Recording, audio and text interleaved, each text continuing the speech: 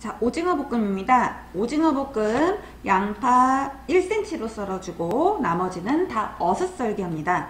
양파 껍질 제거, 그 다음에 고추들은 꼭지 제거 미리 해두세요. 자, 양파입니다. 1cm라고만 되어 있습니다. 길이는 없고요. 오징어가 4cm 정도 합니다. 그래서 양파도 비슷하게 썰어주시면 됩니다. 자, 대파입니다. 대파는 어슷썰기입니다.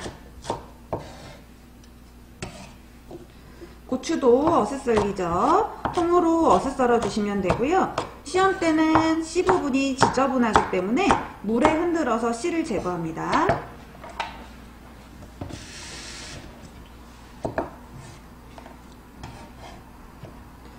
바로 개수대에서 하시면 돼요. 이렇게 물 흔들어서 여분의 씨를 모두 제거해 주세요. 자, 오징어 손질해 보도록 하겠습니다. 오징어는 먼저 반을 가르도록 하겠습니다. 내장이 터지지 않도록 살짝만 긁어주시고 그 다음에 다리 부분 살짝 잡고요. 이렇게 쭉 당겨주세요. 쭉 당기면 내장 이렇게 뜯겨지죠? 네. 안에 있는 내장 빼주시고 자, 그 다음에 여기 다 내장이에요. 잘라서 버릴 건데 눈알 사이에다 칼 넣으시면은 먹물이 터집니다. 그 옆으로 그냥 자르시든가 또는 살짝 이렇게 돌려주시면서 자르면 여기 꼬들꼬들한 부분까지 드실 수 있습니다. 그 다음 다리 사이에 있는 이빨 손가락 집어넣어 주시면 이렇게 이빨이 빠져요. 자, 이빨 빠지고요. 그 다음에 이 빨판 사이사이 지저분할 경우에는 한번 문질러서 씻어주시면 됩니다. 이제 몸통 껍질을 제거해야 됩니다. 끝에 손으로 그냥 이렇게 잡아 당겨가지고요. 껍질 제거해 주시면 되고 또는 미끄러워서 잘 안 잡히는 경우에는 행주나 키친타올 면보 등으로 잡아주시면 은 껍질 제거 쉽게 잘 됩니다. 근데 만약에 물이 닿거나 생물이거나 하면은 껍질 제거가 잘 안 돼요. 자 이렇게 해서 오징어 껍질 제거 했습니다. 제가 오징어 몸통의 껍질 제거는 다 했는데 다리 부분은 하지 않았습니다. 다리는 굳이 하지 않아도 괜찮아요. 자 다리 부분은 완성이 4cm인데 줄어들기 때문에 5cm에서 6cm 정도로 하시고 이렇게 장칼집을 넣어주시면은 덜 줄어들게 됩니다. 사이즈는 5에서 6cm 정도 길게 잘라줬고요. 그냥 이렇게 잘라주셔도 되고 또는 펼쳐서 다리 하나하나 또는 오징어 다리가 작다면 두 개 아니면 하나 이런 식으로 길쭉길쭉하게 잘라주세요. 몸통 보시면 여기 지느러미 쪽 귀라고 보통 얘기하는 부분 있죠? 여기는 모양이 어차피 잘 안 나기 때문에 한번 이렇게 자르고 하셔도 되고 그 다음에 껍질을 벗기셔도 되고 안 벗기셔도 되고 크게 상관 안 하셔도 됩니다. 이 부분은 조금 넉넉하게 보이도록 그냥 길이만 맞춰서 4 1.5만 맞춰서 잘라서 넣어주도록 할게요. 자, 몸통을 잘 자르셔야 되는데 몸통은 내장 쪽에 칼집을 넣어줍니다. 껍질 쪽 아니고요. 내장 쪽에요. 볼록 튀어나와 있는 두 개 찾아주시면 돼요.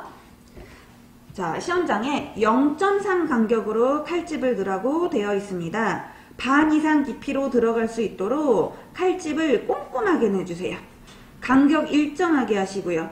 어느 정도 넣은 다음에 여기가 벌어지나 안 벌어지나 이렇게 한번 확인해 보세요. 잘라지지 않도록 주의하시고 자 이렇게 넓어질수록 조금 힘들어집니다. 위에부터 아래까지 꼼꼼하게 넣어주세요. 오징어가 크면은 조금 깊게 넣어줘야 되고 오징어가 작으면 잘라지지 않도록 얇게 넣어줍니다. 이렇게 일자로 세우고 넣으셔도 되고요. 칼 그림자 때문에 잘 안 보일 것 같으면 살짝 이렇게 어슷하게 하고 칼집 넣어주셔도 됩니다. 이 간격이 0.3이에요. 지금 잘 들어갔죠 칼집?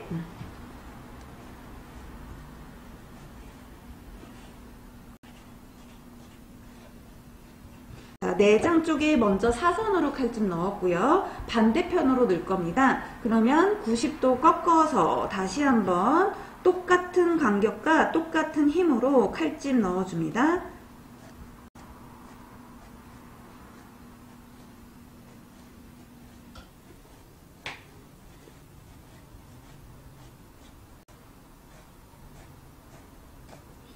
자 이렇게 해서 내장 쪽에 칼집을 모두 넣었습니다. 자 완성이 4 곱하기 1.5인데 어디가 산지 정확하게 시험장에서는 안 알려줬습니다. 이게 굉장히 중요한데 세로가 4가 되면 오징어가 말리기 때문에 가로가 4cm, 세로가 1.5cm로 잘라주셔야 됩니다. 자, 오징어 크기에 따라 다른데 3등분이 될 수도 있고 2등분이 될 수도 있고 조금 남을 수도 있습니다. 자, 저는 계산을 해보니까 조금 남겠네요. 그럼 1분은 좀 말릴 것 같아요. 자, 이렇게 자르면 보통 안 되고 자, 4가 이쪽이 되게요. 그 다음에 1.5씩 시험장에서는 제법 작은 오징어가 나오기 때문에 아마 2등분하면 맞지 않을까 싶어요. 근데 크기 확인하시고 2등분할지 3등분할지 결정하세요. 그 다음에 오징어는 투명한 막이 있기 때문에 잘 끊어졌나 한번 확인해 보세요. 자, 이렇게 오징어 손질 다 했습니다. 자, 이제 양념장 만들어 보겠습니다. 양념장은 설탕 하나, 네. 그 다음에 고춧가루도 하나. 네.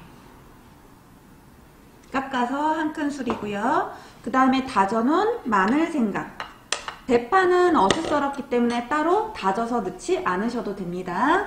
그 다음에 깨 부셔서 좀 넣어주시고 그리고 후추. 양념장은 모두 외워 가셔야 합니다. 간장은 한 작은술 정도. 한 작은 술이면 5mm. 큰 수저로 따지면 3분의 1 큰 술 정도 돼요. 그리고 참기름.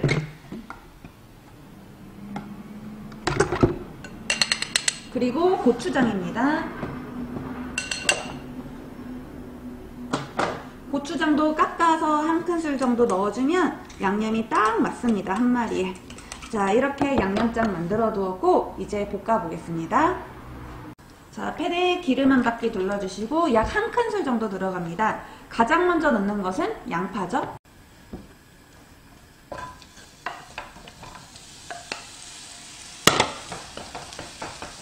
자, 양파는 중간 불이나 약한 불로 볶아주세요.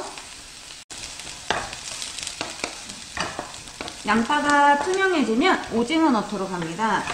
오징어에 물 많지 않은지 확인하시고 오징어 볶을 때는 센 불로 볶아줍니다. 오징어에 물이 생기면 안 돼요. 질겨지기 때문에. 자, 그래서 센 불로 볶는데 오징어가 타면은 불 줄이셔야 돼요. 화력에 따라 조금 다릅니다.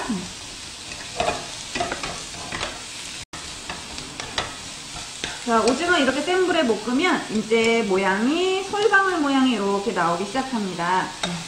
자, 이런 식으로 젓가락 같이 사용하셔도 좋습니다.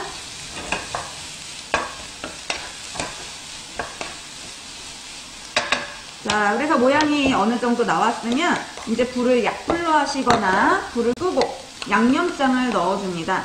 양념장을 너무 많이 넣었다면 조절을 해주셔야 돼요. 자, 이렇게 양념이 볶아지면서 오징어가 또 점점 익습니다. 오징어를 약불로 오랫동안 볶으면 물 생겨요. 물 생기면 질겨지고, 그 다음 양념도 흐려지고. 자, 그래서 이제 이렇게 해서 오징어가 다 말리고 양념도 골고루 됐습니다. 그러면 나머지 대파, 청고추, 홍고추, 마지막 참기름 한 바퀴 둘러서 마저 익혀줍니다. 대파나 고추는 익히는 게 없어요. 그냥 양념만 스며들면 돼요. 음. 오징어 반드시 익어야 되고요. 음. 자, 이렇게 하면은 이제 모양이 이쁜 게 다 보이죠. 다리도 이제 몽뚱하고 사이즈가 딱 맞는 게 보입니다. 제가 아까 새로 썬 거 딱 두 개 있었어요. 이렇게 작아졌어요. 네, 사이즈가. 이런 게 전체가 되면 안 되지만 안 버리려고 넣은 거면 괜찮아요. 그래서 전체적으로는 이렇게 길다란 모양 나오는 것이 좋겠습니다. 자, 오징어 볶음 다 됐으니까 완성 접시에 담아 볼게요.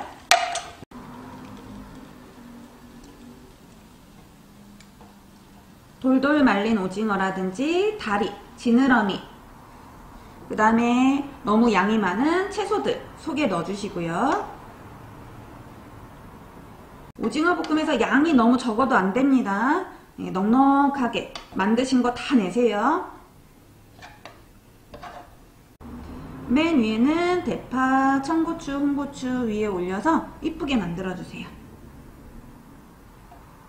자, 오징어 볶음 칼집이 굉장히 중요합니다. 자, 오징어 볶음 완성되었습니다.